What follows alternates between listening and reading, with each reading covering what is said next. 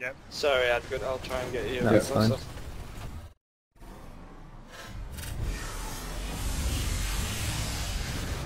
One, one zombie down.